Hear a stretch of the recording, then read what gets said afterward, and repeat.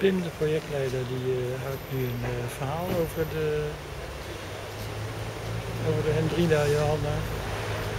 En eh, hoe ze aan het werk zijn gekomen en hoe enorm veel werk het kost om het voor elkaar te krijgen.